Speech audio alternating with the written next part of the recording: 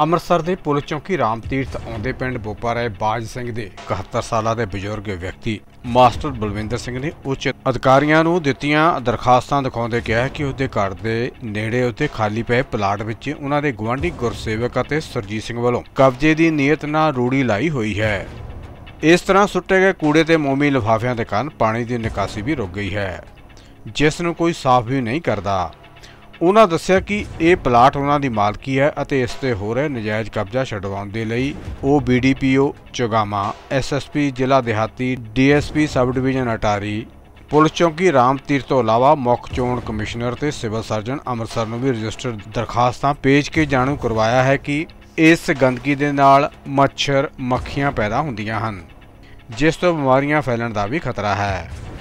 ਉਹਨਾਂ ਅੱਗੇ ਦੱਸਿਆ ਕਿ ਪਿੰਡ ਦੀ ਪੰਚਾਇਤ ਨੂੰ ਵੀ ਇਸ ਤੋਂ ਕਈ ਵਾਰ ਜਾਣੂ ਕਰਵਾ ਚੁੱਕੇ ਹਨ, ਪਰ ਕਿਤੇ ਵੀ ਸੁਣਵਾਈ ਨਹੀਂ ਹੋਈ ਹੈ। ਜੀ ਤੁਹਾਡੀ ਸਮੱਸਿਆ ਇਹ ਆ ਵੀ ਆ ਸਾਹਮਣੇ ਆ ਆ ਇਧਰ ਮੇਰੀਆਂ ਦੁਕਾਨਾਂ, ਤੇ ਇਹ ਦੁਕਾਨਾਂ ਕਰਕੇ ਤੇ ਆ ਰੂੜੀ ਸੁੱਟਦਾ ਇੱਕ ਸਰਜੀਤ ਸਿੰਘ, ਪੁੱਤਰ ਕਰਨੈਲ ਸਿੰਘ ਤੇ ਇੱਕ ਉਹਦਾ ਲੜਕਾ ਆ, ਗੁਰਸੇਵਕ ਸਿੰਘ।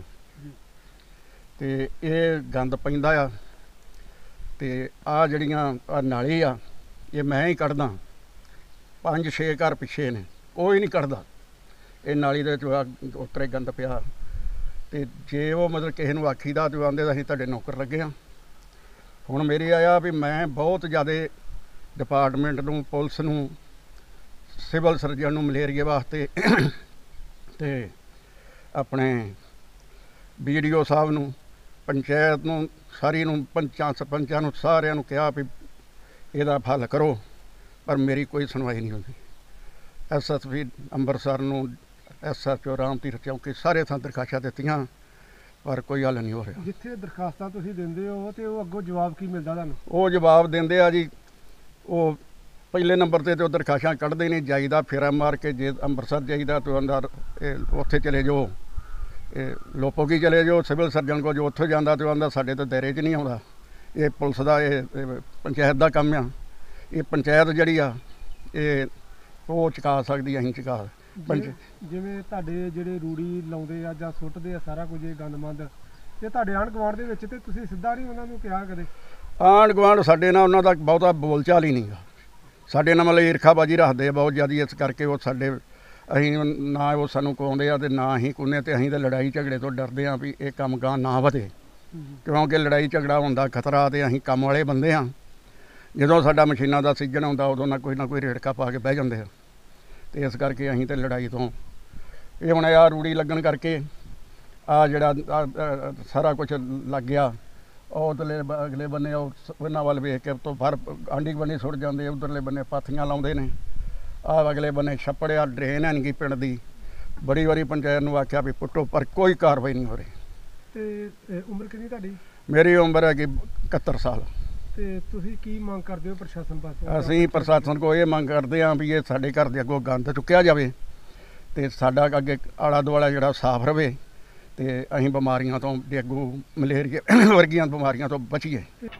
ਇਸ ਮੌਕੇ ਤੇ ਵਿਰੋਧੀ ਧਿਰ ਦੇ ਸੁਰਜੀਤ ਸਿੰਘ ਨਾਲ ਗੱਲਬਾਤ ਕੀਤੀ ਤਾਂ ਉਹਨਾਂ ਦਾ ਕਹਿਣਾ ਹੈ ਕਿ ਰੂੜੀ ਵਾਲੀ ਜਗ੍ਹਾ ਕਿਸੇ ਦੀ ਮਾਲਕੀ ਨਹੀਂ ਸਗੋਂ ਪਿੰਡ ਦੀ ਸ਼ਾਮਲੜ ਜਗ੍ਹਾ ਹੈ ਜਿੱਥੇ ਉਹ ਪਿਛਲੇ 20-25 ਵਰਿਆਂ ਤੋਂ ਰੂੜੀ ਲਾ ਰਹੇ ਹਨ। ਪਲਾਟ ਇਹ ਆ ਵੀ ਇਹ ਸ਼ਾਮਲਾਟ ਪੈਲੀ ਆ। ਸ਼ਾਮਲਾਟ ਆ ਪੰਚਾਇਤੀ ਥਾਂ ਆ ਸਾਂਝਾ ਪਿੰਡ ਦਾ। ਮੈਨੂੰ 30 ਸਾਲ ਹੋ ਗਏ ਆ ਇੱਥੇ 35 ਸਾਲ ਰੂੜੀ ਲਾਉਂਦੇ ਨੂੰ। ਇਹਦਾ ਪਲਾਟ ਕੋਈ ਨਹੀਂਗਾ ਪਲਾਟ ਉਹ ਪੰਚਾਇਤੀ ਆ।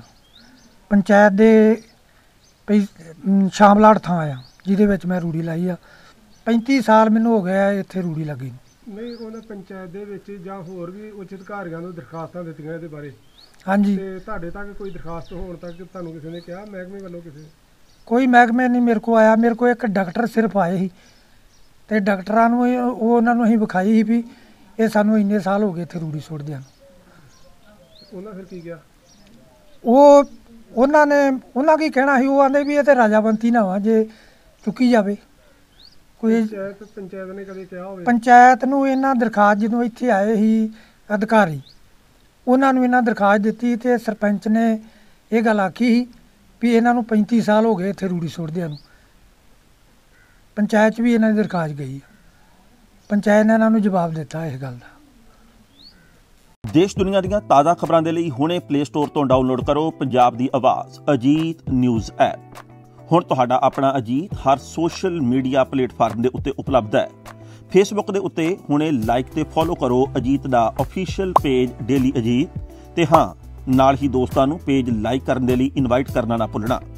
ਇੰਨਾ ਹੀ ਨਹੀਂ, ਹਿੰਦੀ ਦੇ ਵਿੱਚ ਖਬਰਾਂ ਵਾਸਤੇ ਲਾਈਕ ਤੇ ਫੋਲੋ ਕਰੋ ਸਾਡਾ ਫੇਸਬੁੱਕ ਪੇਜ ਅਜੀਤ ਸਮਾਚਾਰ ਹਿੰਦੀ। YouTube ਦੇ ਉੱਤੇ ਵੀਡੀਓ ਖਬਰਾਂ ਦੇਖਣ ਦੇ ਲਈ ਹੁਣੇ ਸਬਸਕ੍ਰਾਈਬ ਕਰੋ ਅਜੀਤ ਦਾ official YouTube channel Ajit web TV ਤੁਹਾਡਾ ਆਪਣਾ ਅਜੀਤ ਹੁਣ ਟਵਿੱਟਰ ਤੇ ਇੰਸਟਾਗ੍ਰam ਦੇ ਉੱਤੇ ਵੀ ਉਪਲਬਧ ਹੈ।